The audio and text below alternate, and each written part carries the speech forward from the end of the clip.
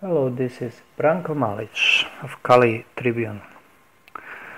As a lot of readers of Kali Tribune uh, ask uh, questions on René Guénon and ask indeed for more content on this content on this uh, philosopher,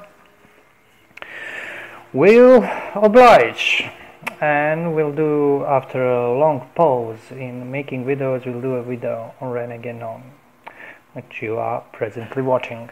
Uh, hopefully this will be the last video done with obsolete uh, equipment. Uh, hopefully come next week we'll have so we'll have upgraded upgraded uh, upgraded recording equipment and this will yield uh, more quality sound but also more quality video. You don't need much quality for this kind of video of reading scrolling through a pdf book but there will be hopefully other kinds of videos. Now talking about Renon, uh, we are here uh, we'll we'll be reading a bit from reign of the quantity and sign of the times the book that I already did uh, one article essay about and a series of videos that was quite well received. and this uh, will pick a few passages uh, from this book, uh, passages devoted to the problem of individuum, problem of form, a problem of quality and quantity, uh, which kind of yield the essential, essential insights of Guénon. Now, in advance, I have to point out one thing. Uh, what Guénon does here is not uh, inventing things, but just interpreting or reusing, rehashing ideas of uh, scholastics, uh, colored with his Oriental, I would say Vedic or Indian or, or even Islamic uh, views on creation, but more like uh, Far Eastern Indian but it, uh, uh, he bases his analysis on on uh, Western scholastic tradition, by which is meant mostly high scholastics in the vein of Thomas Aquinas, uh, based that is based primarily on Aristotle. The the reason for this is uh, this may may be uh, may sound strange to somebody who heard about Guénon as a mystic or I don't know, esotericist, that he should be closer to Platonism, but in fact Guénon considered Aristotle's notions of nature quite in tune, for instance, with uh, Far Eastern, or let's say Vedic uh, cosmogonies and metaphysics.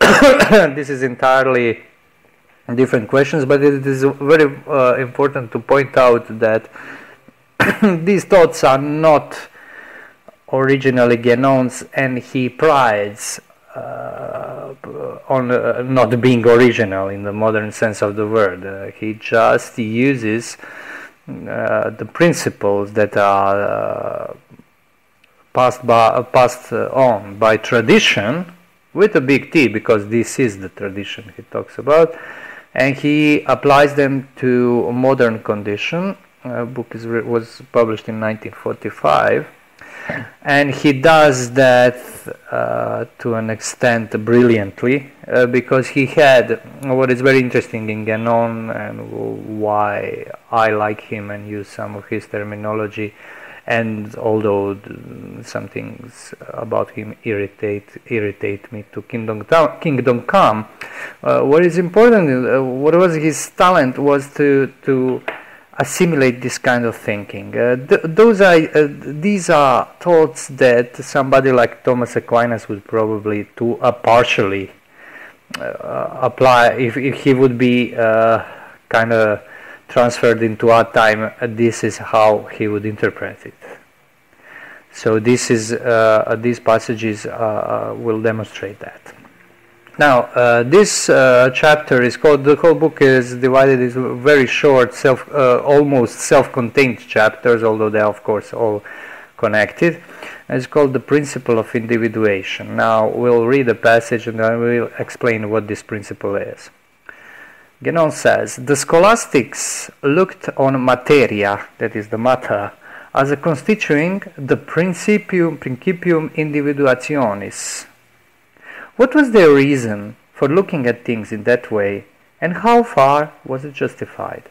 In order to understand what is involved in this question, it is sufficient, without in any way going beyond the limits of our world, for no principle is here involved of a transcendent order with respect to this world, to envisage the relation of individuals to species. In this relation, species is on the side of form or essence, and individuals, or more exactly that which distinguishes individuals of the same species of one from another, are on the side of matter or substance. End quote. Now, uh, first of all, uh, Principium individuationis is a principle of individuality, of uh, making something uh, individual thing.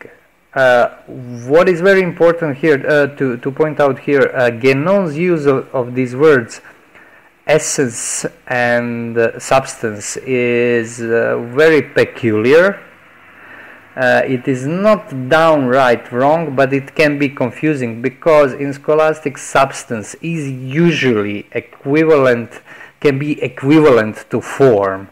Uh, it is, for instance, you have the uh, the term quidditas, which is kind of combination of essence and substance of what makes matter, uh, what transcends both matter and form in their unity and he kind of like uh, plays with these terms. It is not something that is uh, unusual. For instance, in Aristotle, he always did that. That is to say, for instance, he would sometimes say that matter is uh, substance, or sometimes would say that form is substance, and matter and form are usually uh, taken in opposition. But this is this only comes from the fact that this opposition uh, is always relative and that uh, thought uh, uh, changes its expression depending on the context uh, or better to say the angle from which we are intuiting these concepts. So the concepts and the content of concepts transcends the language. And this is something that is very peculiar and, and true philosophy because uh, you can sometimes you have a sense of uh, you, you talk in terms that could be understood as contradictory and you don't have a sense or impression that you are contradicting yourself and this this is because content is not contradictory but uh, the, the the words used in the peculiar context do not uh, correspond to some other context where they would be used in opposite sense. And this is something that this comes from the fact that true metaphysics is not a system. If it were a system, you would never be able to use uh, one word, uh, for instance, form, and, uh, as equivalent to essence, and then in the other other other context to call form uh, substance.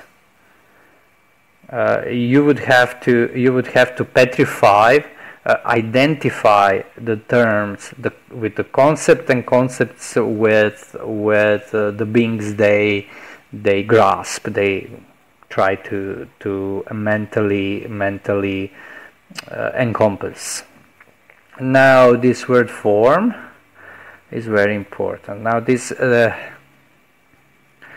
uh, this is uh, the the hot dichotomy that comes from Aristotle between eidos and hyle, that is uh, form and matter, is a conceptual pair and ontological pair that uh, constitutes most the thi- most of the things we can call beings in this world. But there are beings that are pure eidos, or eidos is one of those Greek words with uh, multi-layered meanings. It can mean it can mean species, as we will see, but it original meaning, of course, comes from uh, life experience, and in some sense, it really can mean intelligibility, rational structure of something, and this is, in fact, its meaning. Eidos is a logos of things. That is the the something that we can understand in some being. For instance, when I say that uh, ashtray, that this thing I'm having before myself is has a form of ashtray. I don't mean it looks like ashtray. It has a visible form. No, I mean it has a purpose. Above all things, a purpose of ashtray, and in according to its purpose, it has its uh, the properties, the qualities of ashtray. Not something you would eat the soup out of, but you would uh, extinguish your cigarette butt in it. To take this banal example, whereas the matter or hyle materia is uh, substratum which is formed by this form. It is uh, the unintelligible rest in things that we which we, we don't grasp, that which is uh, um, purely uh, a foundation uh, that gives things um, uh, their corporeality. Although matter, this is this can be this um, taken into question because matter can also uh, there are opinions that matter can be understood in even broader sense of uh, for instance, when you have uh, in Aristotle, for instance, in language, uh, when you say that matter of the word would be letters or syllables or consonants and so on because uh, matter always uh, refers to those elements that constitute something but do not make that something what it is. Do not qualify it. But uh, the real thing uh, that uh, qualifies something, that qualifies some matter, is eidos. So the eidos uh, or the form is always primary to matter. Now, principium individuationis, as Guénon would say, uh, would be a distinguishing of uh, individuals in the context of one form. For instance, I have a form of man, uh, there is a form of man, there is an intelligible structure that can be understood as a human being. And matter would be a principle that distinguishes various human beings. Now, what does this mean? Guénon will proceed to explain uh, the word form, and from this we'll see what what what is meant by this. Not only by Guénon, but by many others before him. For instance, I quote: For instance, the word is used in its ordinary meaning in the statement that of all the conditions of a state of existence, form is the one that specifically characterizes that state as individual. It goes without saying that form in this sense must in no way be conceived as endowed with a spatial character, for it is so endowed only in our world, because it is there combined with another condition, namely space, and space belongs to the domain of corporeal manifestation alone. But this question then arises Does not form thus understood, rather than matter, or if preferred, quantity, represent the true principle of individuation, since individuals are what they are by virtue of the fact that they are conditioned by form. End quote. Now, now you have uh, the example of what I was talking about about metaphysics in general. Uh, now he, uh, I, I said that uh, together with Guénon that matter is principle of individuation, and now he says no, the form is a principle not of individuation but of of uh, singularity of something, of uniqueness of something. And how can this be? Well, it's simple. The form, uh, the answer is simple. Uh, the form is what makes us what we are, let's say. I will say human beings. Uh, the form uh, can be understood as species. And for instance, if we say that we are intellectual species, that is to say that we are species that are characterized or qualified by the possession of the power of understanding, then this power of understanding as a principio of a princip, a principle of qualification is the one in all of us. But it, on the other hand, it makes each one of us unique uh, in uh, contrast to other beings that are not endowed, not acted upon, not energized by this form, for instance. And this uh, makes our matter different because matter of man and matter of dog are not the same in the same sense from this perspective. Uh, to a certain extent, as man participates, for instance, on being mammal or animal, they are. But in uh, when we take a, a, human being as a whole and uh, canine as a whole, uh, the, even the matter is different everything is different because uh, form is a principle of uniqueness and diversity. Uh, it, it, there is no paradox. It seems paradoxical, but it's not. It is what makes uh, uh what makes things that is beings in this world different. Not, but this is not the same as the principle of individuation. Uh, I, uh, principle of individuation has another scope, uh, Guénon would say. Let's see what it means. Quote, the real question of the principle of individuation has a much more restricted range and can be reduced to this. The individuals of any one species all participate in a common nature which is that of the species itself. This is what we were talking about. And is in all of them equally. How then does it come about that, in spite of this community of nature, these individuals are distinct beings, or even that they are in any way distinguishable one from another? Of what order is the determination which is added to specific nature so that the individuals may become separate beings while remaining within the species? It is this determination that the scholastics relate to matter, that is to say, ultimately to quantity, according to their definition of the materia secunda of our world, that is the matter that is proper to some given species or some given being. And thus, matter or quantity appears distinctly as a principle of separativity. End quote. We'll continue this after qualification. So, what he does, what does he say here?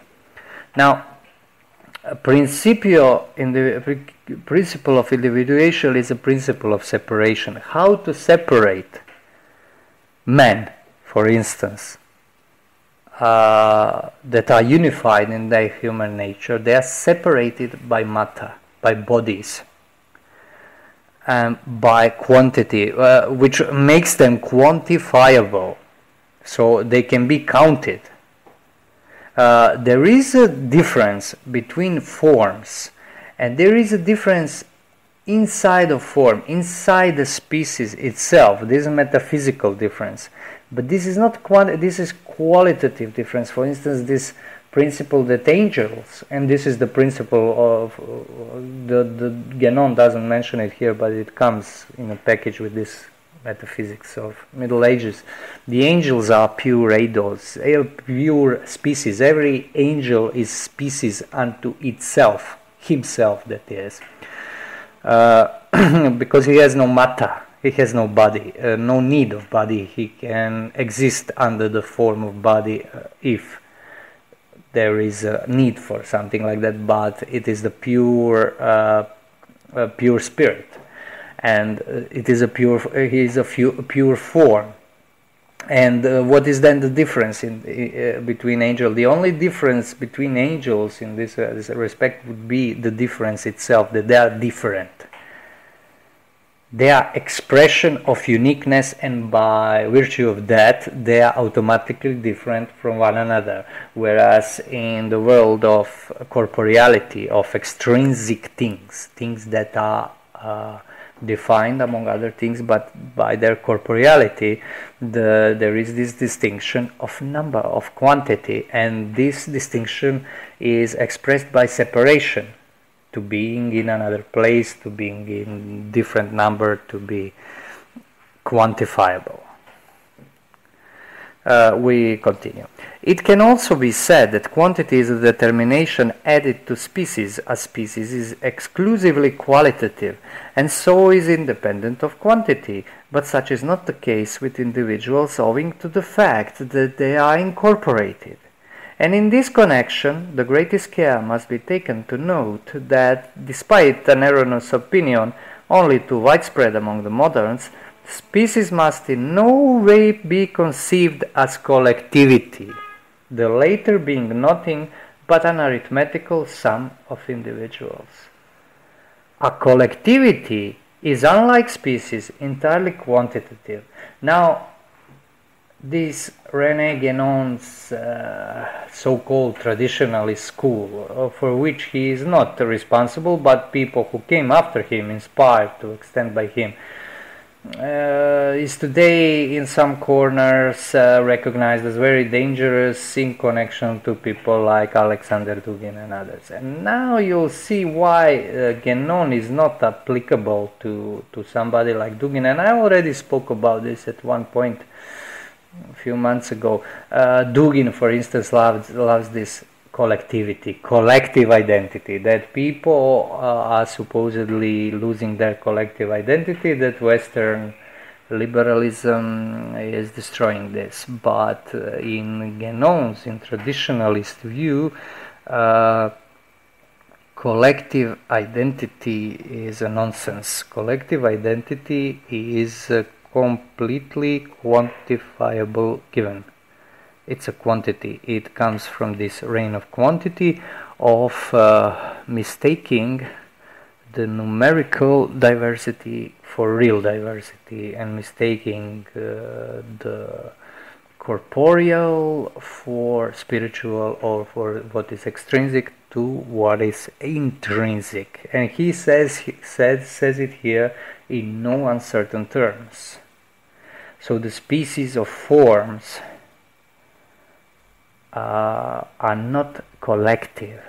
They are unified, but not collective. What is collective can never be unified because it is built upon separation. It is lumping together. And uh, when he says, when Guénon says that one must be very careful about what he says, and use the right word, he's dead spot on right. Because uh, when somebody is not aware or acts as if he is not aware that what collectivity means, he's not to be trusted. He is the fool at best, or uh, somebody that is uh, well lying or trying to manipulate you.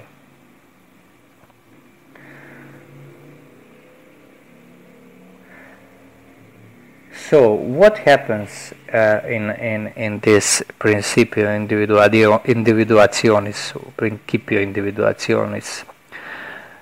Let's see what Guénon says, quote, This separation turns individuals into so many units and turns their collectivity into quantitative multiplicity. At the limit, these individuals would be no more than something comparable two imagined atoms of the physicists, deprived of every qualitative determination. And although this limit can never in fact be reached, it lies in the direction which the world of today is following. A mere glance at things as they are is enough to make it clear that the aim is everywhere to reduce everything to uniformity, whether it be human beings themselves or the things among which they live and it is obvious that such a result can only be obtained by suppressing as far as possible every qualitative distinction. But it is particularly to be noted that some people, through a strange delusion, are all too willing to mistake this uniformization for a unification, whereas it is really exactly the opposite, as must appear evident in the light of the ever more marked accentuation of separativity implied. It must be insisted that quantity can only separate and cannot unite. Everything that proceeds from matter produces nothing but antagonism in many diverse forms between fragmentary units that are at the point directly opposite to true unity, or at least are pressing for, toward the point with all the weight of quantity no longer balanced by quality, but uniformization constitutes so important an aspect of the modern world and one so liable to be wrongly interpreted that another chapter must be devoted to a fuller development of this subject end quote a lengthy quote but this sums it up. Now what it says here is that we live in the state where uniformization is mistaken for unification whereas unification for unification to be possible uh, there has to be a certain freedom from corporeality. That is to say uh, the tendency must be towards form and not towards matter, whereas in uniformization the tendency must be towards matter. Unification is not only possible but certain in a religious sense because unification is the way up and unification is the way down.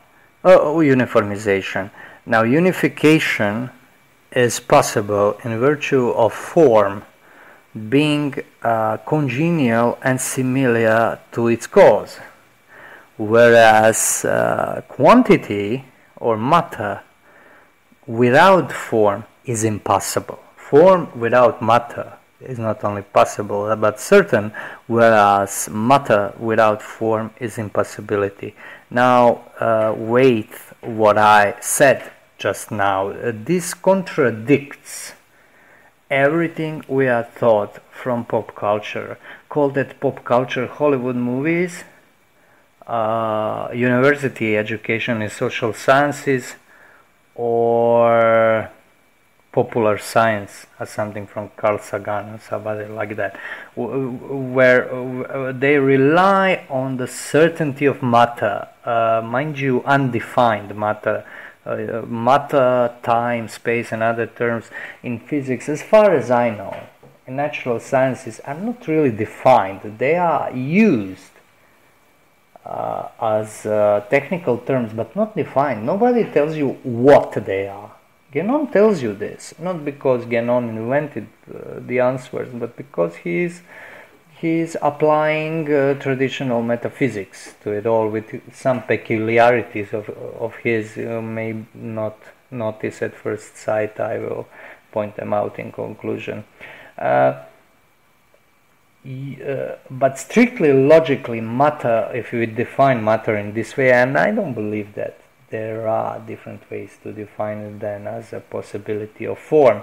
Uh, possi- pure possibility uh, is unthinkable. That is to say, pure inert possibility that has no active principle in, in, itself. You can have absolute all possibility in the sense of absolute power, but it has to be a possibility in the sense of possibility of creation, possibility that has active principle inside intrinsic to itself whereas the pure form is the ascent towards up, uh, to towards heavens, in fact. It is uh, the principle of uh, something being qualified, something being understandable, something being uh, capable to be expressed in words, for instance, at the very least. And these, uh, this uh, dialectics was, in Guénon's view, as I said in my previous works on Guénon that were more far-reaching than this uh, uh, reading of few passages, or he was of idea that world is going into this, history is going into this direction of uh, reign of quantity that will eventually have to be overturned by its intrinsic nature. Uh, simply, uh, it will have to reflect from uh, direction towards nothingness, towards what is below, to reascend towards uh, what is spiritual, what is intelligible, what is up there, and so on. Uh, here, it is important to point out that this is uh, uh, exp- Guénon's explanation of the term that people uh, often ask me about the term individuum. This is pure quantity or pure discrete individual. Uh, would be this impossible, uh, purely material being that is absolutely separated, that has no principle of unification in itself. Uh, now, uh, peculiarity of Guénon here is this uh, uh, word where is it manifestation which he always uses this is something that uh, that is a telltale sign of his adherence to oriental metaphysics because he's not talking about uh, somebody uh, some of his uh, um, uh, here it's a corporeal manifestation.